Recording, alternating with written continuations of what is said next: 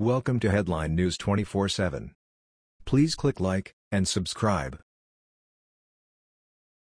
Melania shows incredible class, invites special guests to Bush funeral. First Lady Melania Trump is showing her class again. This time, it's evident in who she invited to the funeral of one of her predecessors, former First Lady Barbara Bush. According to The Hill, Melania took two White House staffers with close connections to the Bush family as her guests when she went to the funeral in Houston. White House usher Buddy Carter and former White House head maître d' George Hannie were guests of the First Lady at the service on Saturday. She knew they were very close to the Bush family and wanted them to be able to pay their respects, a spokeswoman for Trump said. Bush passed away last week at the age of 92.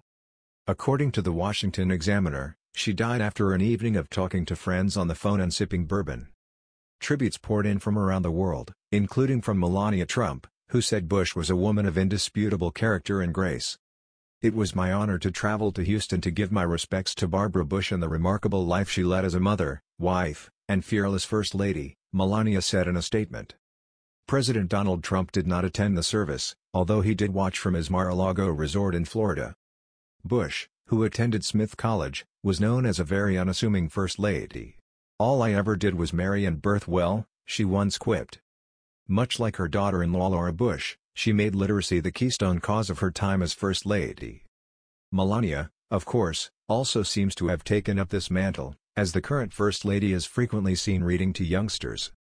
And just like Barbara Bush, Melania is also pretty classy. The fact that she would take two White House staffers who knew Bush along with her as official guests is definitely a telling thing when it comes to her character. Barbara Bush was mourned by millions of Americans, all because of her class, dignity and devotion to important causes.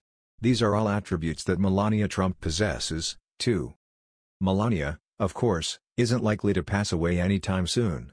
However, her performance as First Lady should make Americans proud in the same way they were proud of Bush. When her funeral comes, hopefully many, many years in the future, one hopes she'll be remembered in the same way. That was the news. We thought you might be interested in knowing about this. Please click like and subscribe. Thank you.